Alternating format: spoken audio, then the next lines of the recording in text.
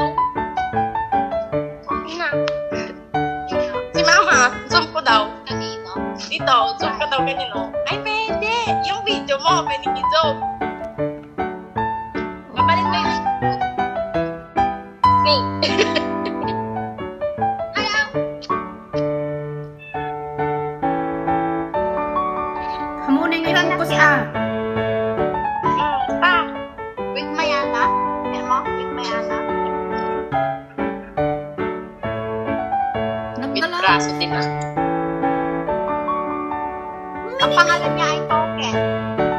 Token coins? Token. Yung isa, euro. Mm-hmm. Ang piso. euro piso. Ito,